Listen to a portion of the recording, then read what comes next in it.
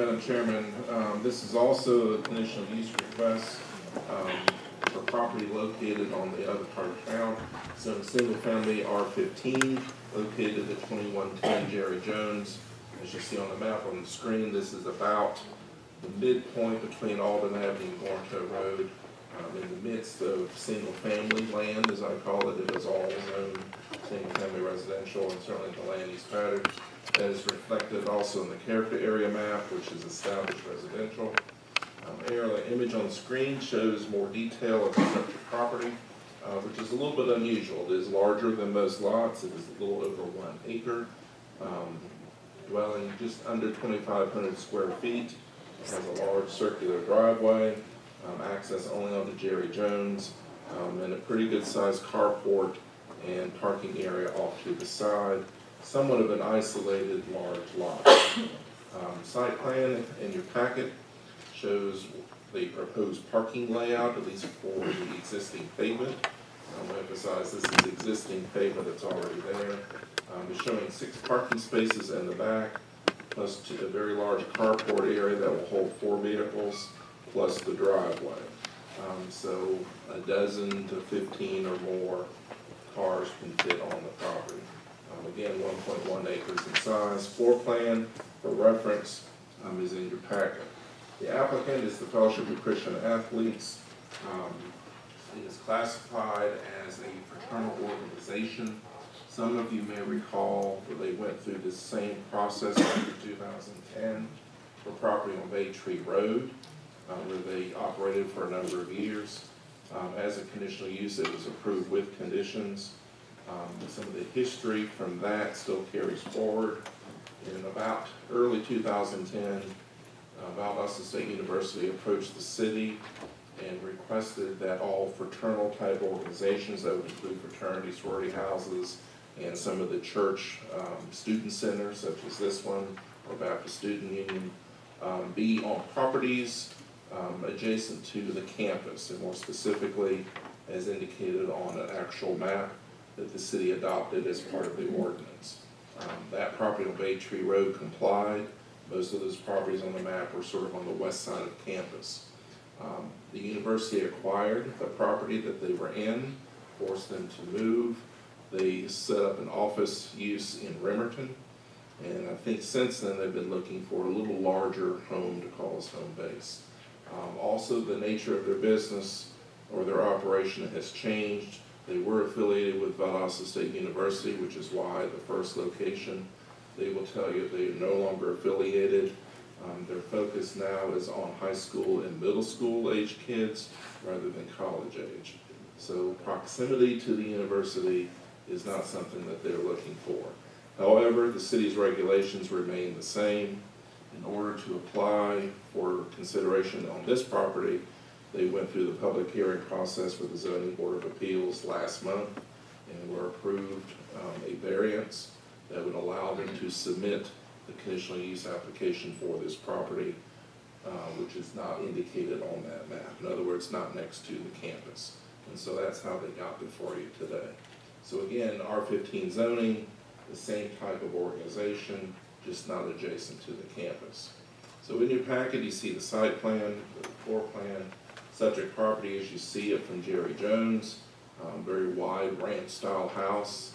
Um, the house looks larger than it is, it's actually very wide. Um, view up the driveway also from Jerry Jones. Um, some of the vegetation around the perimeter is what I call the South Georgia jungle. Um, some of that is in place. Adjacent properties across the street, another single-family residence, also on a large lot, and some of the other residences nearby. These are actually to the rear of the subject property. You notice on the map, Tom Wall Street has a cul-de-sac circle in it that touches the subject property, but there is no driveway access there. Again, other residences on Tom Wall behind. So before you is a request for conditional use permit for fraternal organization in R fifteen zoning on the subject property, that is their proposed site plan. Um, staff thought about this very long and hard, not sure, not convinced that the variance would be approved. There was a lot of mixed, um, feelings about that in terms of the regulations that were put in place. However, as a footnote, that variance was barely approved.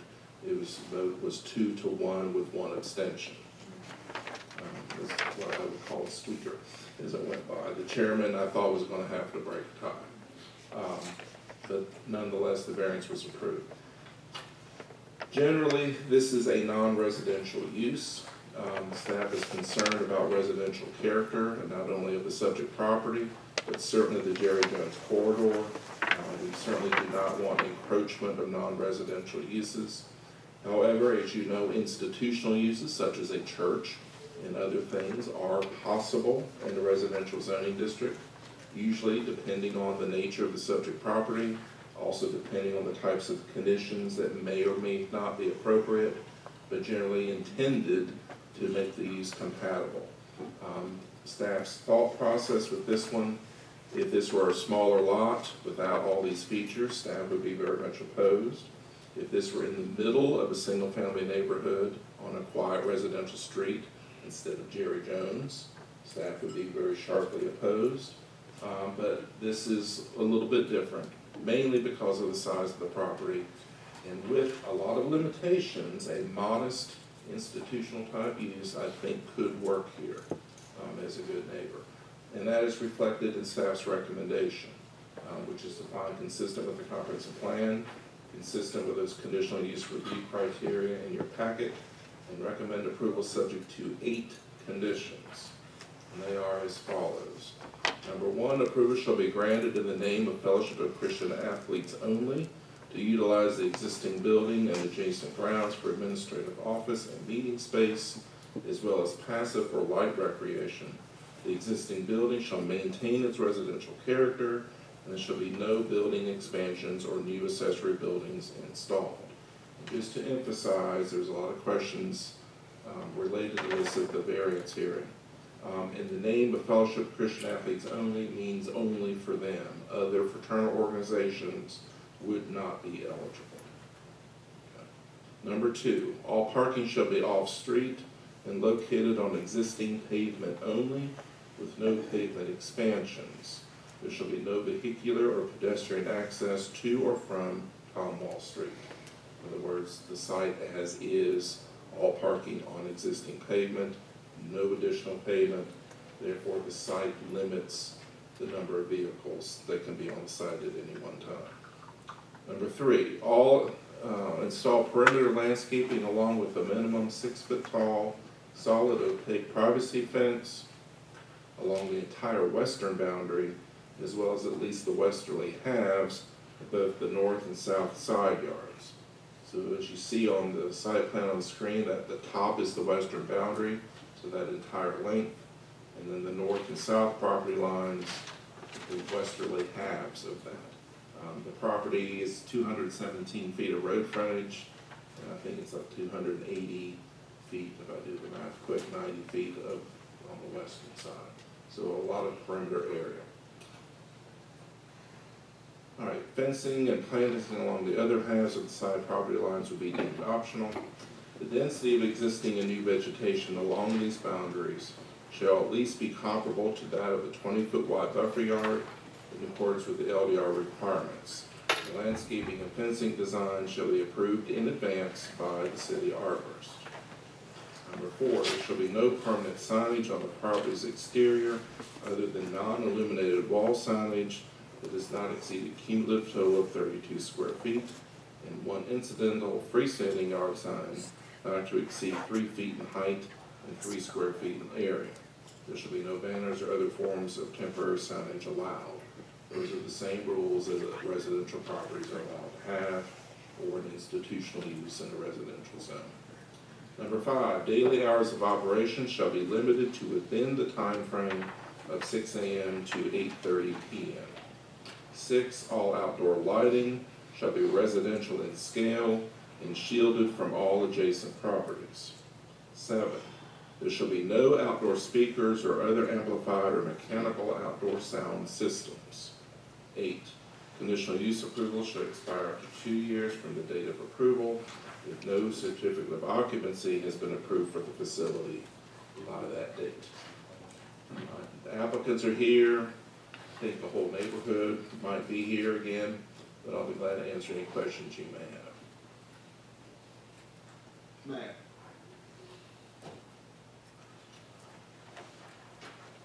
I'm just curious why you feel the need to put the six-foot fence in there on the western boundary. It's, It's all grown up anyway. yeah, um, it helps ensure isolation of this property from the neighborhood. It helps ensure the lack of We're keep- We're access, keeping it with, with the residential appearance. correct? And I think, That's the whole thing, to keep it a residential appearance. I- And I know fences on red, I just, I just hate to put that condition they have to do it. Just curious, I'm just, I'm just speaking freely. again, it's to isolate the property from the neighborhood and perhaps uh, avoid the temptation for, uh, extra people to park on that cul-de-sac Okay. and walk into the property. Okay, and I'm just really curious, I know I've been by that, that property a gazillion times over time I've been here, and I, I would think somebody's had a party there before, and, but we, but with this particular situation, we can't have an outdoor speaker. That's the recommendation. In other words, quiet residential area. I, I get that, I'm just saying, there's never been one before. There's never, nobody ever had a sound system outside here before. We don't know.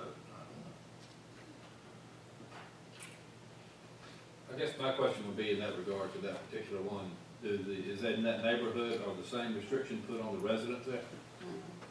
It's more, No. it's tighter, It's what, it's tighter. I tighter mean, than that? yeah, because eight thirty, uh, if you're a resident, I mean, there's nothing that says you can't play music on your patio. Well, that's what I was asking, does Yeah. it, does it apply, to- oh, oh, that's it. And the difference is the use of properties. Right. You know, a household would have one group of people. This potentially, if you read their letter, you know, they had board meetings, fifteen board members. The population of this property, on occasion, would be much higher. Madam Chair, on number three, Matt, um, I just want clarification, I, can read it obviously, but you're asking, is there a separation for the fence and the- the planting? So you're asking for a fence and planting, or just? It's all part of one landscape plan Uh-huh. that the city arborist reviews. The quantities are determined by the city's buffer yard requirements for a twenty-foot buffer yard. The existing vegetation gets full credit toward that. Okay. uh, So in other words, there's a mixture of some fencing, some vegetation already around these perimeters. I just want to. So, clarify it- that. Thank you. right, it's hard to describe all that in detail in words. The idea is to put it on a plan, Very good. the intent is stated, the city arborist reviews it. Okay, thank you. Is there not a limit on the number of people that can gather at once? No, They Just have um, to be able to get their cars, park their cars on the pavement. correct. The concern is the number of vehicles on the property. Knowing that on occasion, some, um, school-age kids might be dropped off. Hard to keep account of that. But in terms of how the property appears to the outside world, number of vehicles, know, was there. Keeping in mind, and this is part of my thought process, ten of those parking spaces are behind and to the side of the house, not very visible from Jerry Jones, because of the distance. So all you have is a circular drive, pretty good sized one. Um, remember, this is, it's not mentioned here, but it's in the city's residential parking overlay district. Your houses in there are limited to no more than five vehicles in the front yard. And that applies to single-family homes. If approved, those same rules would not apply to this property. Because it would no longer be single-family usage. So hence, the limitation of vehicles.